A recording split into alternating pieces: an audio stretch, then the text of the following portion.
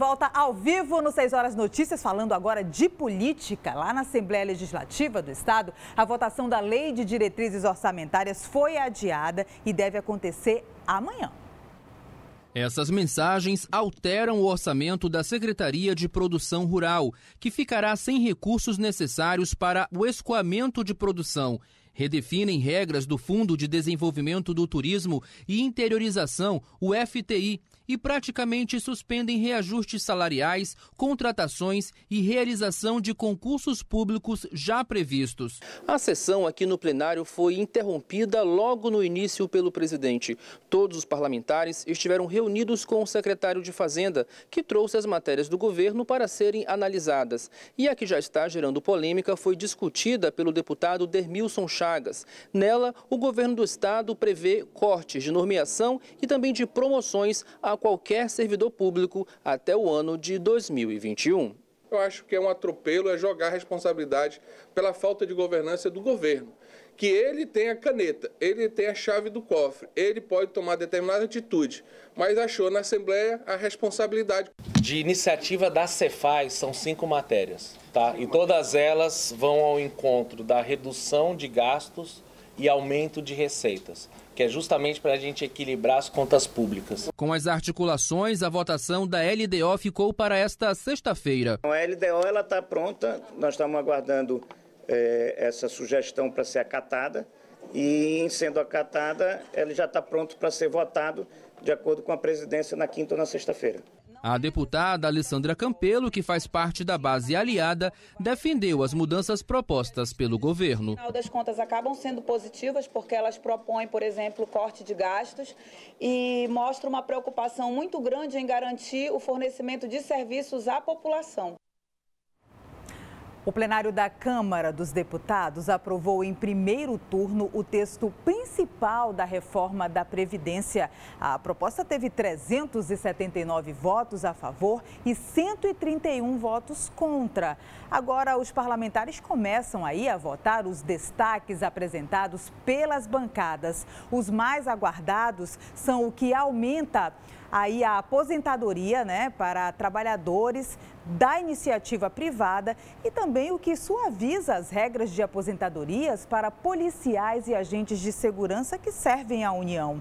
Se aprovado em segundo turno, o texto segue para análise do Senado, onde também deve ser apreciado em dois turnos e depende aí da aprovação de pelo menos 49 senadores. Entre os parlamentares do Amazonas, o deputado federal José Ricardo, do PT, foi o único que votou contra esse texto da nova reforma, alegando que a proposta não seria vantajosa para a população. E o deputado está agora ao vivo com a gente por telefone. Bom dia, deputado José Ricardo. Bom dia, Mariana. Bom dia a todos. Bom dia, deputado. Como que foi essa sessão aí, é, nessa, nessas discussões aí desse novo texto da reforma, um texto que causa muita polêmica em todo o Brasil, não é verdade? É verdade. O governo alega que seria uma nova previdência e precisaria aprovar dizendo que, senão, o governo não teria condições de bancar a previdência, a aposentadoria das pessoas no futuro e que teria um gasto muito grande, seria um déficit.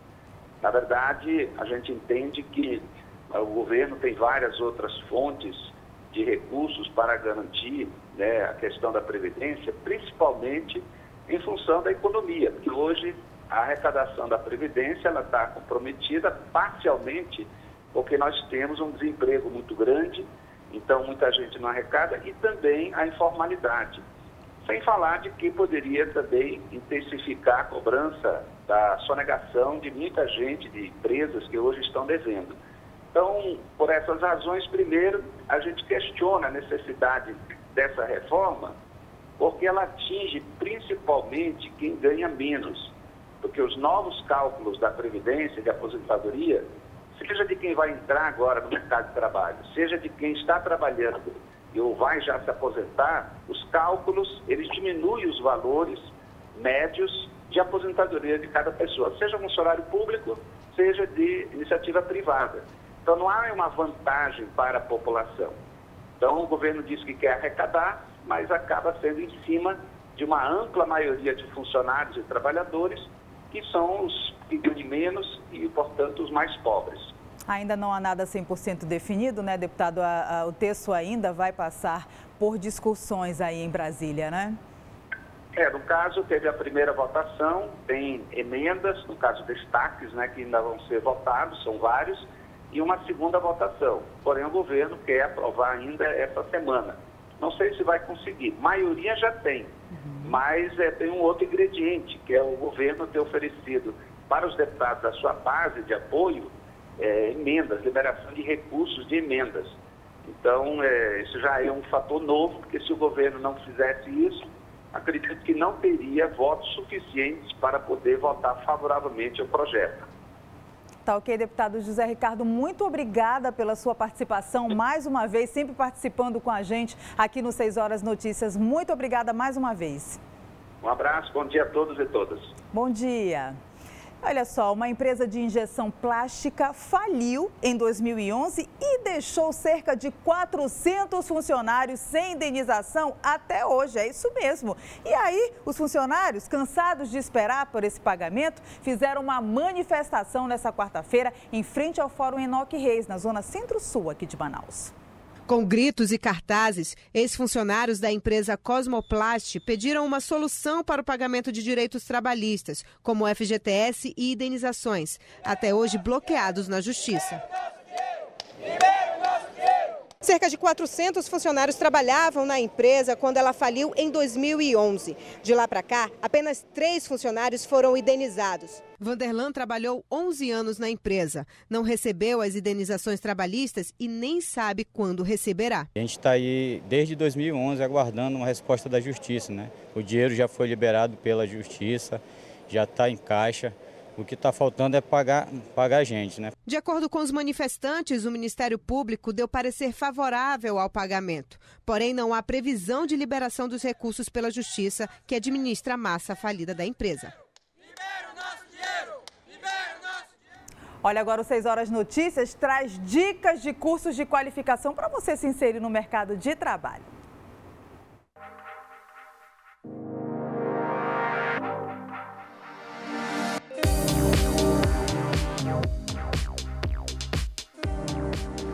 Informações ao vivo para a gente, a repórter Mei Chapiama, que já está na rua desde cedinho, né, Mei? Bom dia para você.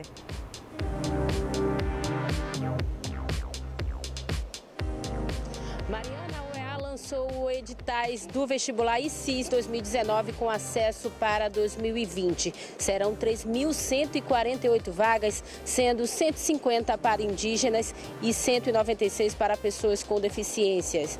As inscrições abrem no dia 5 de agosto e vão até o dia 30 e serão feitas somente pelo portal da UEA. Mas quem quiser solicitar a isenção do pagamento da taxa, o período é de 23 a 27 de julho também no portal da UEA. Serão 37 cursos ofertados, tanto aqui para a capital quanto para o interior do Amazonas. O vestibular está agendado para 27 e 28 de outubro de 2019. E a Fiocruz abriu 30 vagas para facilitadores do Amazonas para nível superior, com salário de R$ 3.440 e essas pessoas vão atuar nos municípios aqui do Amazonas. O contrato é de 12 meses e as inscrições vão até o dia 17 de julho no site amazônia.fiocruz.com e agora essa dica vai para os professores da rede estadual e municipal que querem trabalhar nos dias de, de prova do Enem, que vai acontecer no dia 3 a 10 de novembro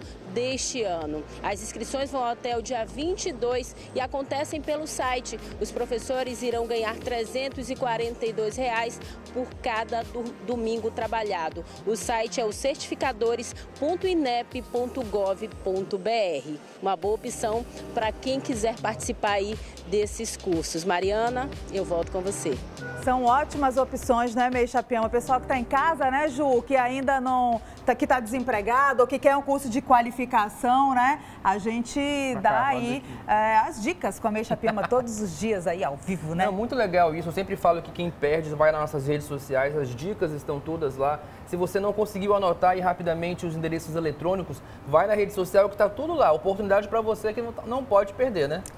A gente vai chamar o telespectador para tirar mais foto com a gente, inclusive com a Mei Chapiama também. A gente vai tirar fotos três juntos depois para sortear essa área VIP do Pistote. O show é no sábado, lá no Copacabana, e a gente vai sortear amanhã, mas é para mandar foto já desde hoje, desde, desde o início da semana já, né, Ju? Quem mandou desde segunda-feira já está concorrendo. A gente já vai tirar foto com ela agora? Ou a no gente, próximo bloco? A gente vai tirar no próximo bloco, né, diretora? No próximo bloco a gente então, tira a foto com ela. Ah, ela já tá aqui. a May, não, a May ela é ótima. Ela já, ela quer já tá fazendo foto. a pose ela já. já tá... é muito ciazinha da fazenda, né? Ah, Bora tirar uma May. foto? Vamos lá, vamos lá. Bora, May. Tira aí, vai. Ricardinho. Vai lá, tira, tira aí. Pronto, manda essa foto agora pra gente, pra você concorrer a esse ingresso. Obrigado, May. Mais ah, uma, ó. Mais uma, bora? Faz vamos, a pose, vamos. Ju. Pronto, essa daí tá Pronto, tá valendo. Obrigada, meu chapéu. Meio adora tirar foto. Não esquece, manda pra gente, coloca o seu nome aí falando que você quer participar, que aí amanhã a gente vai fazer esse sorteio para você participar dessa grande festa com o Pichote. E para esse super show do Pichote no sábado, a gente vai para um breve intervalo comercial, mas não sai daí não que a gente volta já já.